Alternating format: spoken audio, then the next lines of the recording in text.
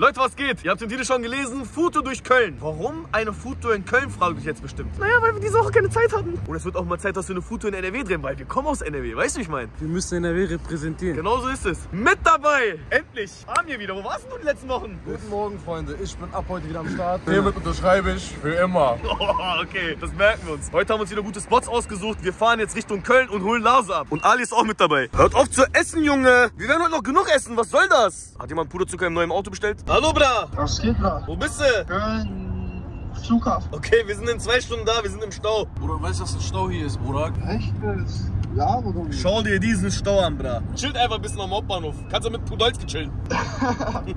Spaß, Mann. Wir sind eine Stunde da. Mmh, ich liebe Zimtschnecken. Angekommen in Köln. Könnt ihr den Dom sehen? Da ist der Dom. Wow. Ich sag's euch, wie es ist. Wir sind schon seit 40 Minuten in Köln angekommen, aber wir haben einfach keinen Parkplatz gefunden. Das ist ein Kritikpunkt, den ihr euch auf jeden Fall merken müsst, wenn ihr aus anderen Städten nach Köln kommt. Richtig Kopfschmerzen, Bruder. Da ist er ja! Was geht also? Ich habe Hunger mitgebracht und deswegen werden wir jetzt gleich essen. Bist du heute auch so kritisch unterwegs oder bist du heute ein bisschen lockerer? Ich sag dir ehrlich, ich bin mit dem richtigen Fuß aufgestanden, deswegen bin ich lockerer. Mit welchem Fuß? Mit den rechten, linken oder mit dem mittleren? Mit dem mittleren Fuß. Sehr gut, sehr gut. Angekommen bei Philly Cheesesteak. Wisst ihr, was ein Philly Cheesesteak ist? Der kommt aus Philly und das ist Steak mit Cheese. Weißt du, wie ich meine? Habe ich zuletzt in Philly gegessen, den Original. Und ich bin echt gespannt, Bruder, ob er mithalten kann mit den Originalen. Du hast Was ja echt schon alles im Original gegessen, Ja, du. das stimmt. Ich sag's euch, wie es ist. Auf dieser Straße sieht der Laden am ansprechendsten aus, oder nicht, Amir? Ja, würde ich auch sagen. Der Laden scheint auch ziemlich beliebt zu sein, der ist sehr voll. So, wir gehen in einen extra VIP-Raum, nur für YouTuber. Hast du's geklärt, Bruder? Ich hab's geklärt, ja. Wir sind was Besonderes. Wir haben einen eigenen Raum bekommen, Bruder, und hier hast du wirklich Philly-Vibes. Mit Philly meine ich wie in New York, weißt du, wie ich meine? Wie in Amerika. Guck mal, wir haben einen eigenen Raum, wir lassen die Rocky laufen. Da fühle ich mich ja wie ein waschechter Amerikaner. Was hast du uns bestellt, Laso? So, ich habe einmal Lemon Pepper Garnelen bestellt und Spicy Mayo. Lemon mag ich nicht, aber Spicy Mayo geht immer. Also lass uns mal was übrig. Sehr gute Garnelen.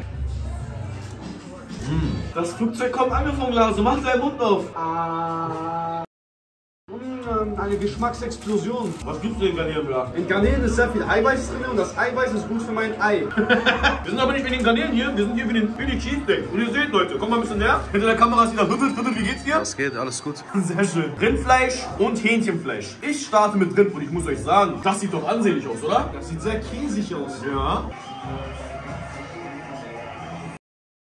Mhm. Ja, der ist gut. Das Brot ist sehr weich. Ich bin dieses Brot wirklich nicht so krass gewohnt, aber ist okay.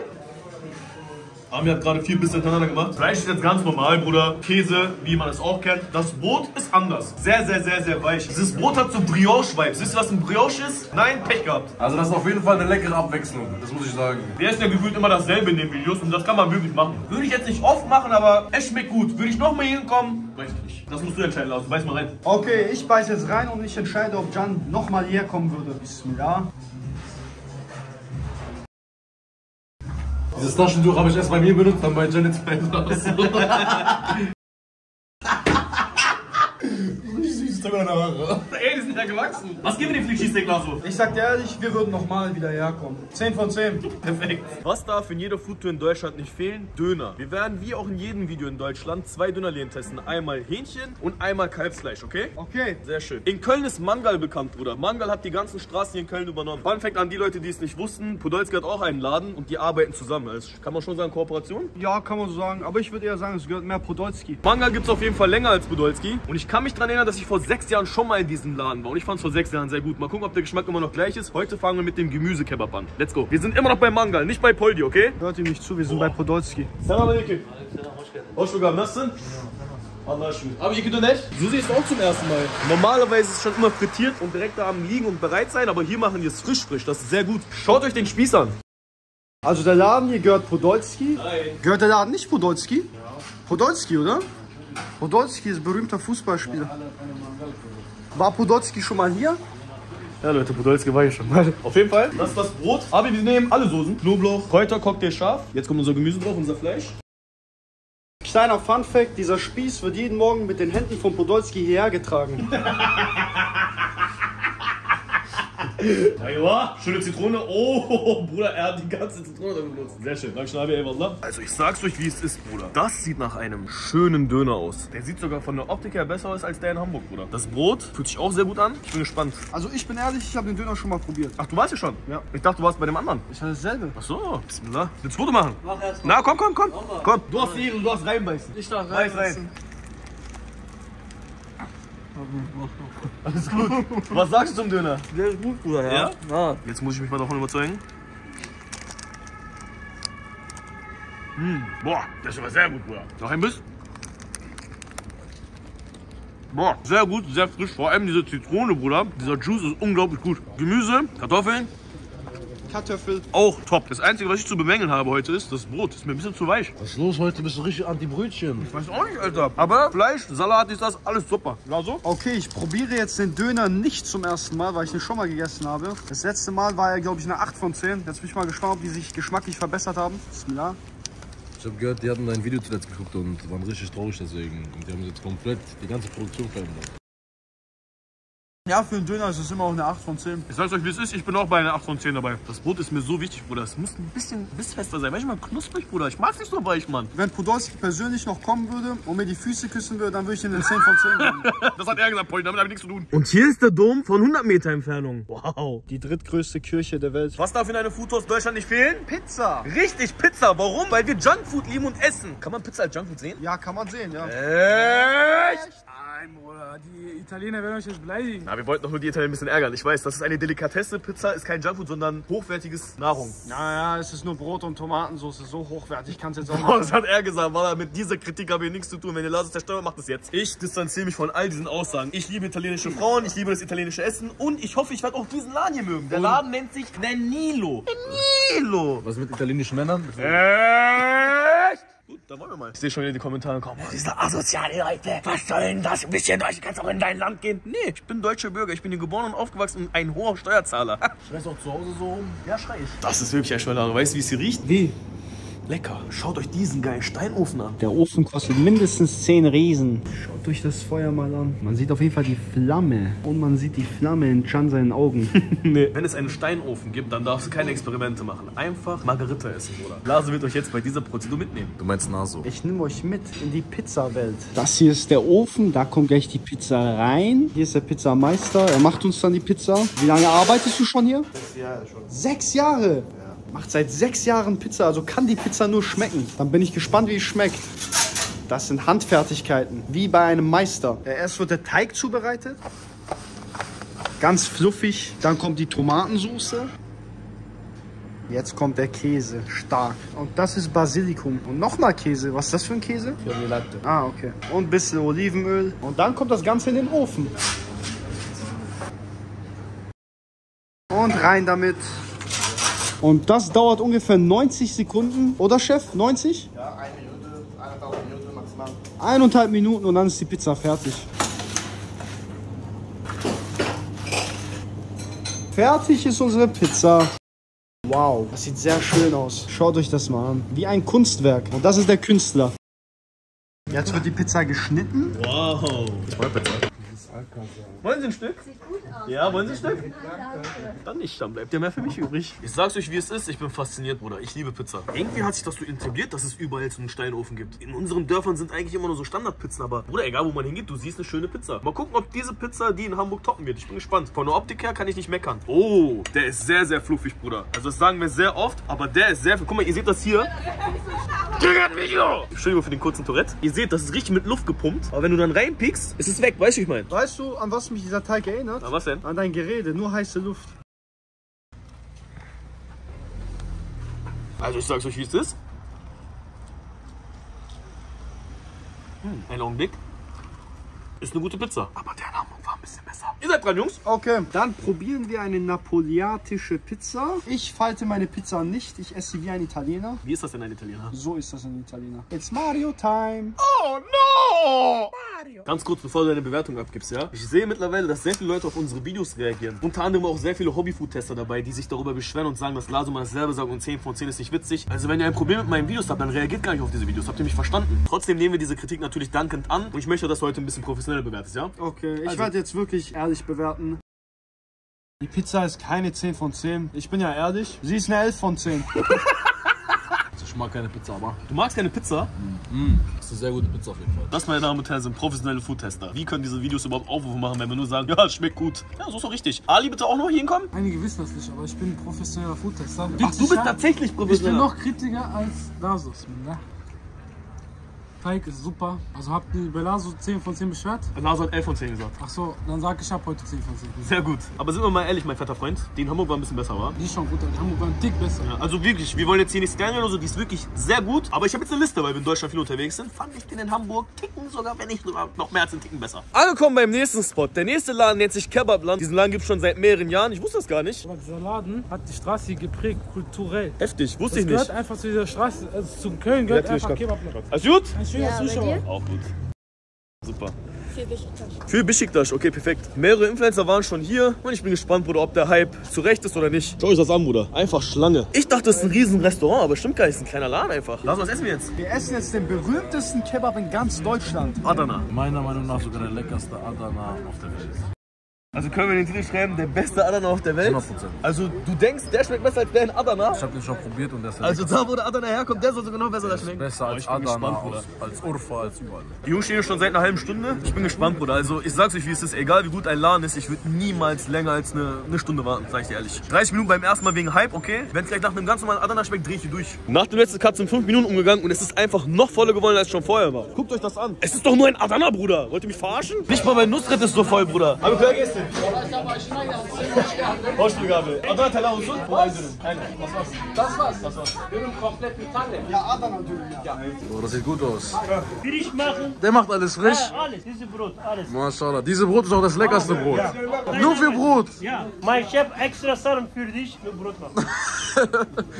Also der ist nur für Brot zuständig. Und das ist das Grill. Maschallah. Und das ist die geheime Soße. Das ist die spezielle geheime Soße. Motorsoße. Und an der Stelle sehr sympathischer Laden. Sehr, sehr sympathisch und Maschallah, dass der Laden so voll ist. Ich hoffe, er schmeckt auch so krass. Damit ihr einen kurzen Überblick habt, guck mal, wie voll der Laden ist. Weißt du, warum der Laden so voll ist, Jan? Warum denn? Weil der Podolski gehört. Nein, das stimmt nicht. Mittlerweile sind 30 Minuten vergangen und wir haben wirklich einen Sitzplatz ergaunert. Ist mir echt unangenehm, wenn Leute mich angucken, während ich aufnehme. Verspeisen Sie Arsch? Nee. Also, das Essen kam sehr, sehr schnell an. Wir haben nur drei Stunden gewartet. Bin gespannt, Bruder. Von dem Brot hier irgendwie jeder. Das wird wohl in das Fett eingeschmiert, eingetunkt? Ja, Kann man das so sagen? Spezialsoße. Spezialsoße. Okay, das lasse ich mir nicht zweimal sagen, Bruder. Und die ist Messe. Kannst du reintupfen. La. Und das Brot wird auch frisch gegrillt. Boah, boah, Bruder. Boah, du hast mich überzeugt. Ich muss es auch einmal probieren. Das ist ein Mundorgasmus. Fajnie. Ja, no super. Fajny goście. Na, Zdrowie. Boah, allein das Brot toppt schon einige Restaurants. Allah, geisteskrank. Nur das Brot alleine schon besser als einige Restaurants. Okay, los geht's. Ich liebe Adana, deswegen bin ich hier. Seht, schönes Fleisch, gehacktes, mit ein bisschen Reis. Bisschen ist gut. Bismillah. Boah, wow, Bruder, wow. Also ich habe gesagt, der beste Adana der Welt. Von mir aus, 100%. Der ist immer noch besser als der in Adana, obwohl er dort erfunden wurde. Geisteskrank, Bruder. Also ich war noch nicht in Adana, aber Bruder, wo war ich all die Jahre? Ich war von diesem Traumladen nur 100 Kilometer entfernt. Boah, geisteskrank. Und auch noch günstig, ne? Weil die machen alles richtig. Ich sag's euch, wie es ist. Sei diesem Laden gegönnt. Hack mit großem Abstand, mit Anlauf, der beste Adana, den ich je gegessen habe. Und das wird auch der Titel dieses Videos sein. Der beste Adana Deutschlands. Boah, Bruder. Jetzt verstehe ich den halt, Bruder. Würde ich hier noch mal eine Stunde warten, um essen zu kommen? Ja, würde ich. Oder würde ich. Komm her. Okay, das ist ein Statement. Das war eine große Ansage. So, dann probiere ich mal den Adana. So, dann bin ich mal gespannt. Boah, er schmeckt so intensiv. Also es ist wie, als würde man mir ins Gesicht schlagen.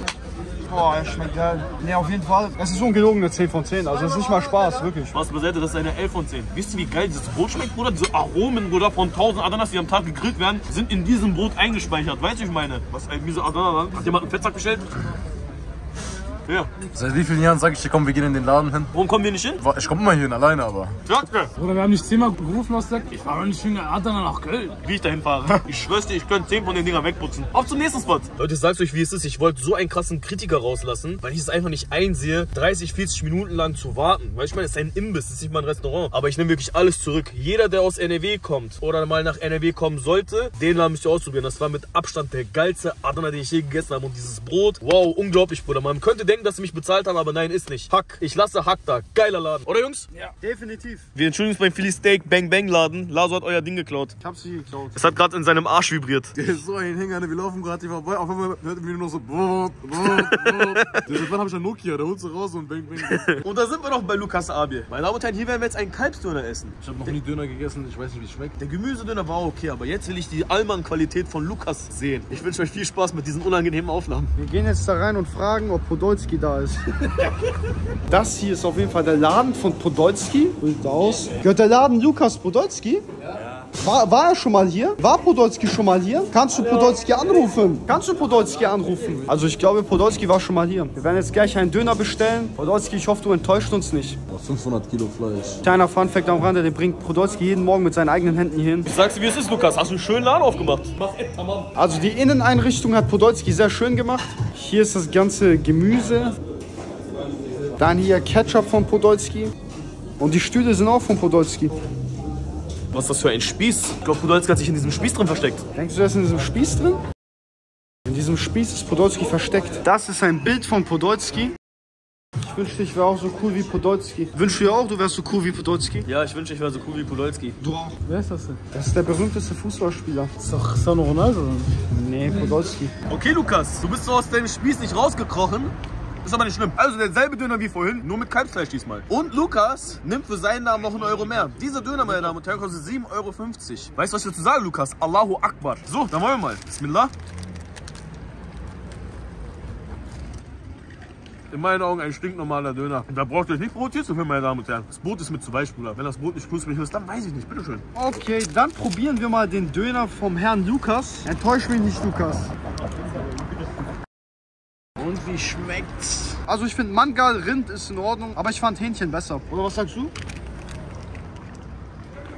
Ganz normaler Döner, Bruder. Leute erwarten eine Bewertung. Er hat viermal hintereinander reingebissen. Also der Döner ist... Okay. Also, ich finde, Lukas, das ist ein guter NRW-Döner. Das ist ein guter Döner aus dem Ruhrpott, aber wir sind gar nicht im Ruhrpott, wir sind in Köln. Das ist kein Berliner Döner, der ist nicht auf Berliner Style, aber Das ist ein guter das ist NRW-Döner. ein sehr, Das ist sehr, gut guter. NRW-Döner. Der Can äh, kritisiert immer wieder NRW-Döner. Wir haben nicht denselben Geschmack, aber ich finde, hast du gut gemacht, Lukas. Schmeckt. 7,50 Euro, Lukas. Hast du uns gefickt. Warte, Lukas.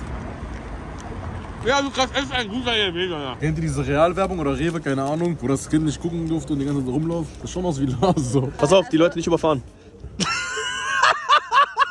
Warum lachst du jetzt? Na, wegen deiner Stirn. Laso, es tut mir nochmal leid, dass wir gedacht haben in Afrika. Das war nicht böse gemeint, Bruder. Deine Haare sahen gut aus. Entschuldigung angenommen. Danke. Meine Damen und Herren, und schon sind wir schon wieder am Ende des Videos angekommen. Was machen wir am Ende des Videos? Am Ende essen wir immer Dessert. Wir sind bei Madame Croissant und wie der Name es auch schon sagt, hier gibt es Burger. Nein, Spaß, hier essen wir Croissants. Naja, tut mir leid, ich bin fett und nicht witzig. Oh la la. Köstliche Croissants und leckerer Kaffee. Oh la la. Ich hasse Kaffee. Guckt euch diese Croissants an, Bruder. Oreo, Lotus, Cheeseburger. Es ist in einer Vitrine, wie in einem Museum. Das ist sehr Madame-tastisch. Ich bin gespannt, Bruder. Also hier gibt es auf jeden Fall sehr viele Sorten. Satte drei Sorten an Croissants. Dann hätten wir gerne zwei Croissants, einen mit Oreo und einen mit Lotus. Mehr habt ihr heute nicht mehr da, oder? Ja, wir haben noch ein bisschen was auf herzhaft und Pasta und so. Nein, kein Pasta, wir wollen Süßes, Bruder. Die habe ich schon mal getroffen. Ich glaube, das war in Dubai, im Wachsmuseum. Da saß die. Ich weiß bis heute nicht, wer das ist. Könnt ihr aber gerne in die Kommentare schreiben. Das ist Madame Croissant. Also diese Madame heißt Madame Croissant. Und das ist die Nichte von Madame Croissant. Und das ist der Urgroßvater von Madame Croissant. Fällt den Unterschied zwischen den beiden Croissants auf? Der eine ist größer als der andere. Der ist nämlich vegan. Normalerweise gibt es hier 13 verschiedene Croissants, aber leider waren noch die beiden übrig. Aber ist nicht schlimm, weil Oreo ist mein Lieblingscroissant. Weißt du, ich meine? Was denn? Ich wollte nur ergänzen, dass eins von den beiden vegan ist. Welcher? Der Oreo, das erkennt man doch mit dem bloßen Auge. Gut, dann wollen wir mal gucken, was der Veganer hier drauf hat. Hm, ein stinknormaler Croissant mit Oreo. Ist okay. Okay, ich probiere jetzt mal den Lotus Croissant. Mmh, schmeckt genau wie beim Lidl. Boah, na geil, Bruder. Ich dachte, du beißt noch einmal rein und auch ein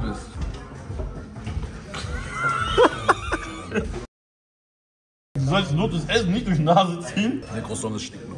Aber die, diese, diese Lotuscreme ist wirklich der Stinkt Hammer. normal, hast du gesagt? Hallo. Die Lotuscreme ist auf jeden Fall sehr gut. Ich sag mal so, Jungs. Essen eine Abwechslung wert. Schöner Hipsterladen. Schöner Einmannladen. Spaß beiseite kann man machen, wirklich. Alles gut. Also ich probiere jetzt mal den Oreo Croissant. Mm, das ist die 3,90 Euro auf jeden Fall nicht wert. Spaß beiseite, ein entspannter Laden. Also ich stehe nicht auf vegan, aber es gibt bestimmt Menschen da draußen, die darauf Wert legen. Ich hoffe, das Video hat euch gefallen. Wenn ja, gebt diesem Video einen Daumen hoch, abonniert den Kanal, würde mich sehr freuen. Und dann würde ich sagen, wir sehen uns nächste Woche mit einem neuen Video wieder. Passt auf euch auf.